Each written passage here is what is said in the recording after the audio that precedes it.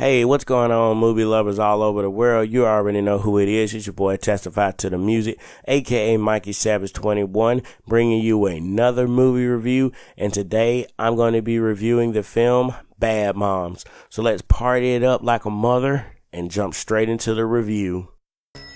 I'm gonna try to do everything by myself today, which should be fine, as long as everybody does what they are supposed to do, right?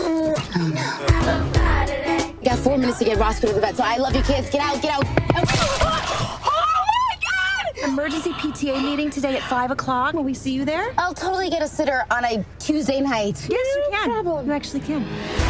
We all work too damn hard trying to make our kids' lives amazing and magical. Their lives already are amazing and magical.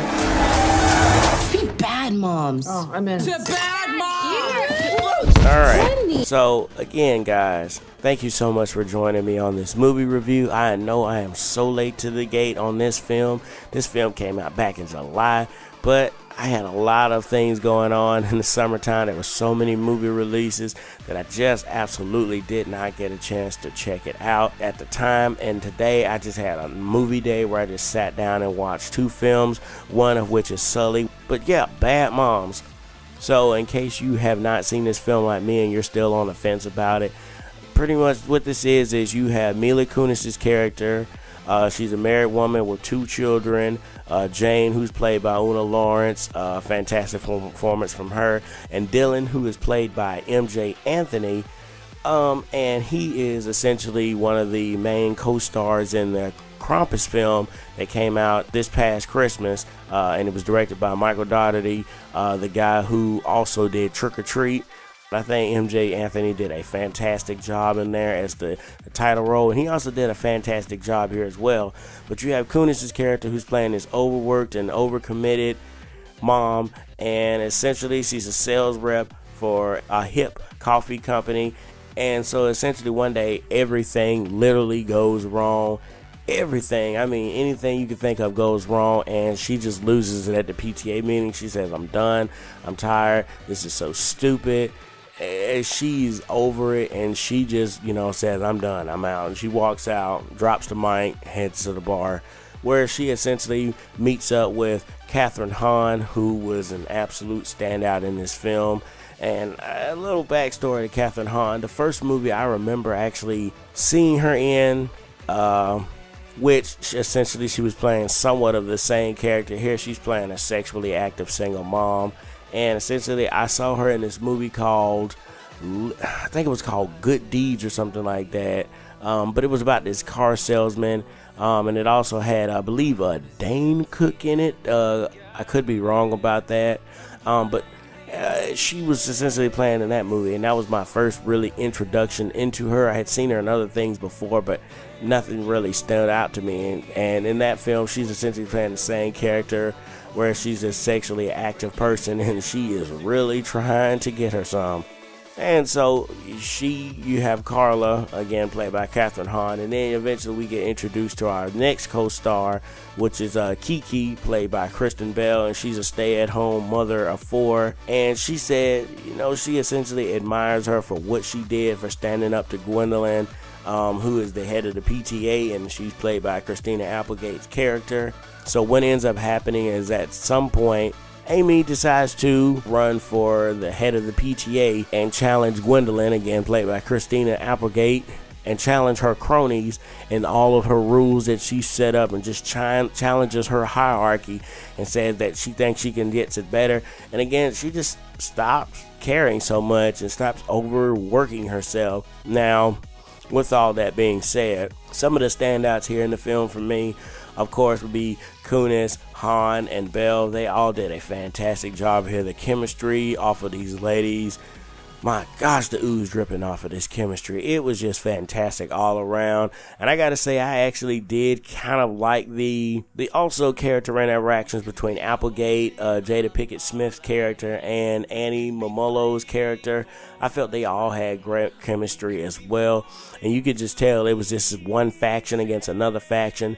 You have the faction of the seemingly perfect moms versus the overworked and overly stressed and overly committed moms and it just really came to a head in this film. Now, comedy wise, I laughed out loud several times in here, and again, I am personally not a mom, of course, and I'm not a dad either, but I can uh, attest and understand how overworked mothers can be. So you get a real good sense of that from this film. And so again, the comedy here is on par. If you have that bit of a raunchy comedy, uh, you're gonna definitely love this. Uh, there's nothing really overly gross or too overly sexual in this movie. Uh, again, it's a hard rated R and it earns its rated R, but mainly because of strong language. But again, the comedy here was on point. I laughed out loud several times. Everybody seemed to be bringing their A game in this film, and I gotta say again, congrats to to Mila Kunis for her starring role in this. She did a fantastic job carrying this film and being one of the main leads in this film. And again, I bought her and Hahn and Bell as these overly worked and overly stressed moms who essentially just want to care a little bit less but still, at the end of the day, you can tell that all three of them still care about their children. You can tell that's where their heart is. And essentially, that's a physical representation for my mom personally, because I know my mom, when I was growing up, she was overly worked and overly tired especially raising me, you know, I wasn't the easiest child to deal with growing up. Especially if you know who I am, you can understand why. And so when I was watching this, I said, oh, I could see bits of my own mom in this and how she overly works herself. So, with all the praise that I'm giving this film, you probably think there really is no negative to say about this. And you're kind of right. I don't really have too many negatives about this. The only little negatives I had here, there were bits of dialogue here and there that I thought were a little bit of hit or miss. Some of the jokes fell a little bit flat. Um, and again, I was in there with a small audience. Um, and you know how you have that awkward feeling where you think something is really funny, but everybody else in the theater is quiet. Yeah, I had a couple of moments in this film. But again, acting wise, everything was up to par here. Everything was up to par. Now, again, the ending felt a little forced, and I kind of felt like, okay, I kind of see where this is going a little bit. The ending, to me, while I like the ending, I kind of was just like, eh, do you really think that that's how it would play out in a real life scenario? But again, sometimes with these movies, you have to take the real life out of these films. And another thing that I like that I think you should recommend staying for is after the credits, they actually had a clips of all of the actors with their moms, especially the the six main women and they were just essentially talking with their moms and getting their perspective of who they are. And it was just really nice seeing the moms on screen just essentially being themselves and being free. Now, as far as a score goes, I'm going to give this movie a solid 4 out of 5. It's a great film. I highly recommend it. It's funny. Again, it almost pretty much landed as a perfect film but the ending for me was a, a little standoffish. And there again, there were a few jokes that were hit and miss, but again, with most comedies, you're gonna have some hit and misses in there. But I gotta say, this is definitely a film that's a diamond in the. I, more people should be definitely seeing this film, and it has definitely made its money back. It's already grossed over a 100 million domestically, which I am so happy to hear that because this film deserves it. It outrightly deserves it.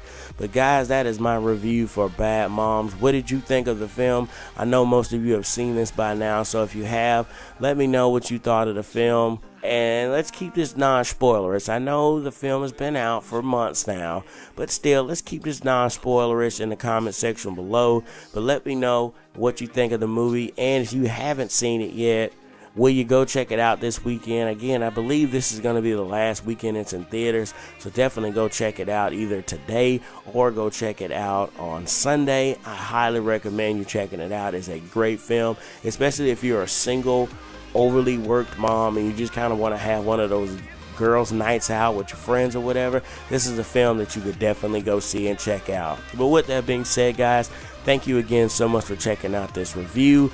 Please, if you like the review, make sure you smash the like button. It helps out the channel immensely. You guys already know I'm Testify to the Music, aka Mikey Savage 21, and I'm saying peace out.